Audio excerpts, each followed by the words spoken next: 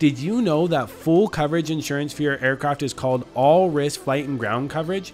And it can possibly cover things like forced landing coverage, headsets and avionics, passenger baggage, spare aviation parts, which could possibly include engines, propellers, tools, miscellaneous parts, aircraft handling and servicing equipment, etc. This is why you should call your aviation insurance broker and actually find out what your policy covers, so that in the event that you have an accident, you'll be fully protected. Happy flying everyone and stay safe.